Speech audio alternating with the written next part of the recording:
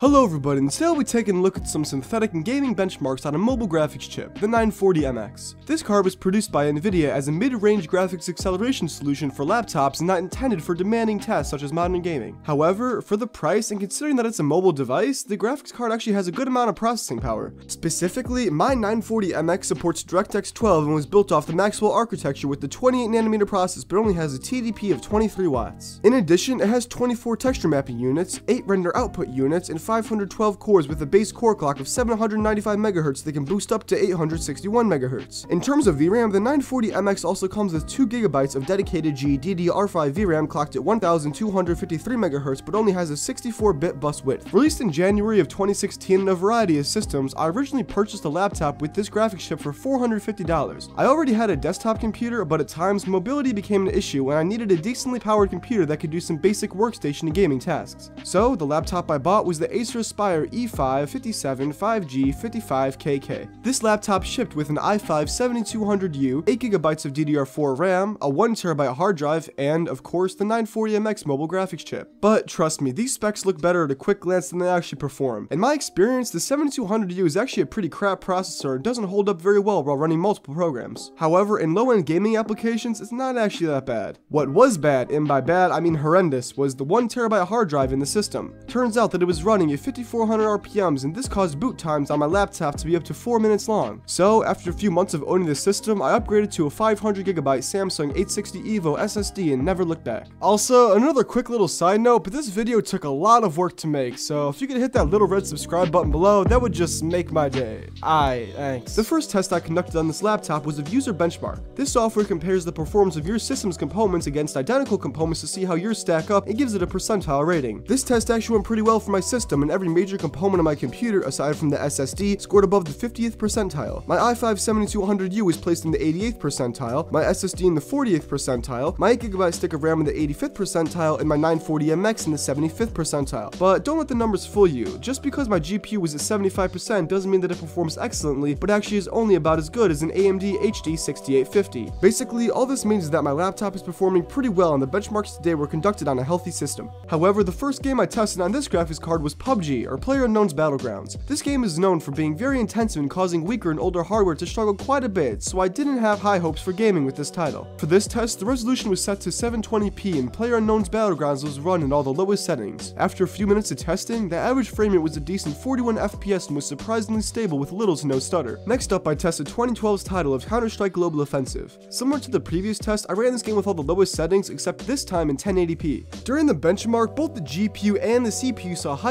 utilization, but generally speaking, the GPU maintained a higher overall percentage. After playing a bit of deathmatch on Dust 2 for a few minutes, the average frame rate was a solid 63 FPS and performed pretty well. Gameplay was basically flawless and this computer could definitely deliver a solid competitive experience. Next up, I ran Grand Theft Auto 5 with all the normal settings selected in the 1080p resolution. The average frame rate in this opening mission was 50 FPS and gameplay was smooth and enjoyable, aside from a bit of screen tearing. There were some instances of brief stuttering or freezing, but these were very short and didn't affect gameplay much. For this test, the CPU and GPU both saw high utilization while running this game, so there was no outstanding bottleneck. Overall, GTA 5 ran well on this system, but lowering the resolution could bring us closer to the ideal frame rate of 60 FPS. After GTA 5, I then ran some Valorant on the computer, as this game has a pretty good reputation of running well even on lower end hardware. In 1080p with all the highest settings and VSync applied, the average frame rate was 41 FPS and was completely stutter free. In this test, the GPU mostly saw higher usage than the CPU, so lower graphical settings would most definitely result in a higher frame rate. But even in its current state, the game ran well. I then played a new title for the JKnight YouTube channel in BeamNG Drive. For this test, I toggled on all the lowest settings including simplified collision physics and drove around the grid map a little bit. After a few minutes of messing around, the average frame rate was 81 FPS, and at its worst, rarely dipped below the mid 70s. However, with bigger vehicles or larger maps, a decrease in frame rate should definitely be expected. Following that, I went against my best judgment and decided to run the game Rust. Knowing this title is very intensive, I turned the settings down to as low as possible with a resolution of 1280 by 720 and loaded into a server with a population of almost 100. I was honestly very surprised at the game's good optimization and that it was plenty playable. Granted, the game looked terrible, but the average frame rate was a solid 56 FPS. In terms of hardware utilization, the CPU hung about in the 80s while the GPU fluctuated around in the 90s. But the frame rate and gameplay was consistently smooth, and if you don't mind the terrible graphics, one would probably deem this game playable. After that, I tested Minecraft version 1.16.1 where I set all the settings to the lowest and adjusted the render distance to 7 chunks.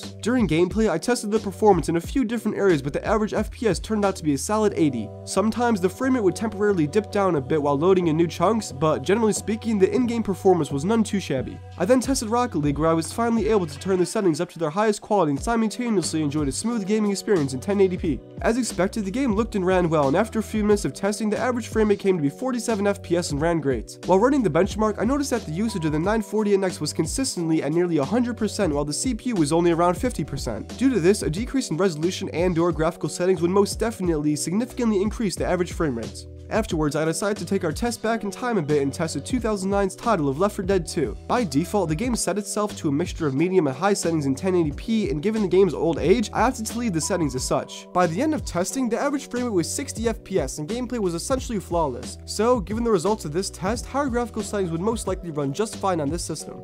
I then took a look at another Valve title, Portal 2, which released back in 2011. This game was ran with all the highest settings applied, including triple buffered VSync in 1080p and achieved a solid average frame rate of 59 FPS. But this was to be expected since Portal 2 is quite an older game and has much lower system requirements than what was available. One of the last titles that I tested on this system was a smaller and lesser known game, Refunct. For this test, I wanted to maintain some decent aesthetics but also wanted a pretty solid frame rate so I put everything on medium and toggled the resolution to 1080p. With these settings, the average frame rate came to be 50 FPS, all while running and looking great. One could probably get away with running some higher graphical options with this GPU, but it was the bottleneck of this benchmark so any increase would probably yield a substantial decrease in frame rates. The last title I tested on this system was Insurgency. I ran this hyper-realistic shooter game from 2014 with all the lowest settings selected in 1080p and loaded into an empty server. After a few minutes of running around and emptying my magazine into random things, the frame rate pleasantly surprised me with a smooth average of 90 FPS. Due to this, higher settings would definitely be playable on the 940MX, but honestly, the game didn't even look that bad on the lowest settings. Regardless, the game ran well and thus concludes the benchmarking of the 940MX graphics chip.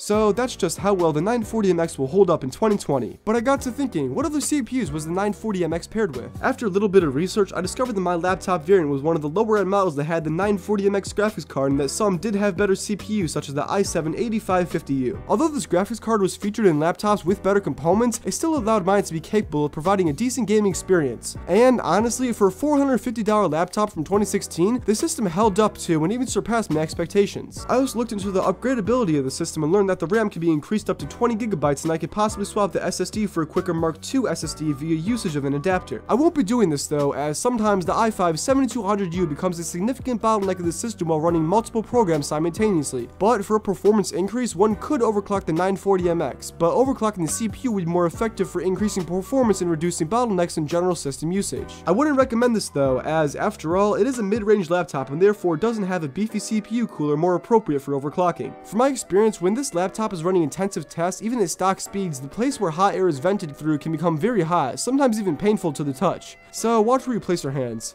but in sum, it's not actually that bad of a system and holds up decently in modern gaming. If you're considering buying this system or a near identical one, don't expect great frame rates, but the games will be playable, albeit on the lowest settings. Oh, and also, a few of the more long-term subscribers, though there are probably only like 5 of you, might have noticed that I already made this video a while back. However, I made it private because I benchmarked it like an absolute fool, so you just watched version 2. I hope you enjoyed. And one last thing before you go, do you want exclusive videos and unreleased footage with a behind the scenes look into the channel? Well, then join the Discord, link in description. Regardless, thanks for watching and I hope you enjoyed the video. Also, please leave a comment below because interactions with viewers will help boost this video in the YouTube algorithm and I guarantee that I will respond to your comments. While you're at it, please subscribe because that helps a lot in video quality and production and also positively affects my day. Finally, leave any questions or suggestions in the comments below, and have a great day. Bye.